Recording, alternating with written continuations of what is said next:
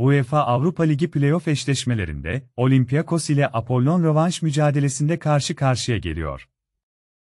Ev sahibi Olympiakos, deplasman ekibi Apollon'u ağırlıyor. İlk mücadele 11'lik beraberlik ile sonuçlanmıştı ve ev sahibi önemli bir avantaj elde etti. Bu mücadelede ateşli taraftarının önünde çok net favoriler ve zorlanacaklarını zannetmiyorum. 1.33'lük orandan Olympiakos galibiyeti bu bültende değerli. Tahmin MS1 oran 1.33.